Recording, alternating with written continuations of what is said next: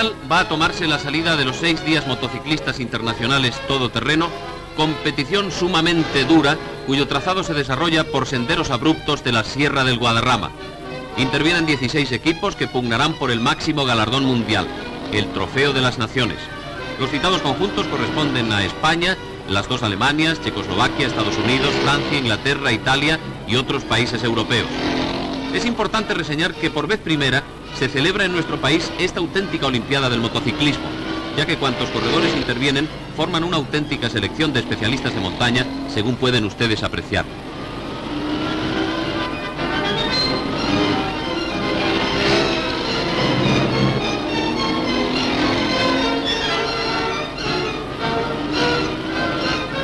Los seis días se han disputado sobre un itinerario especialmente difícil.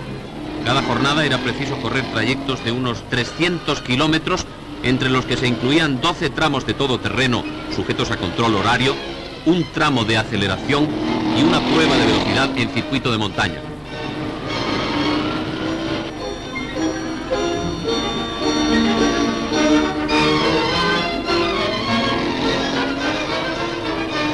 El trazado de la ruta ha supuesto cuatro meses de trabajo diario a tres equipos de especialistas que han seleccionado con rigor los tramos más complicados. Las imágenes hablan por sí solas.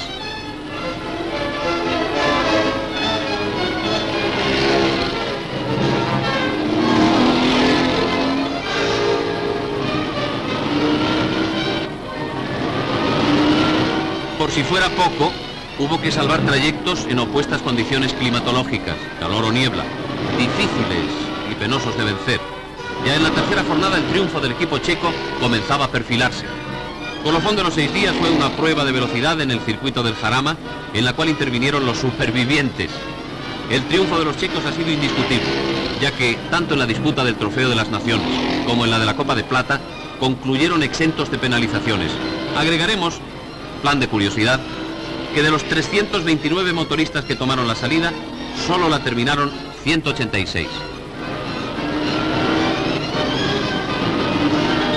Aquí a los vencedores.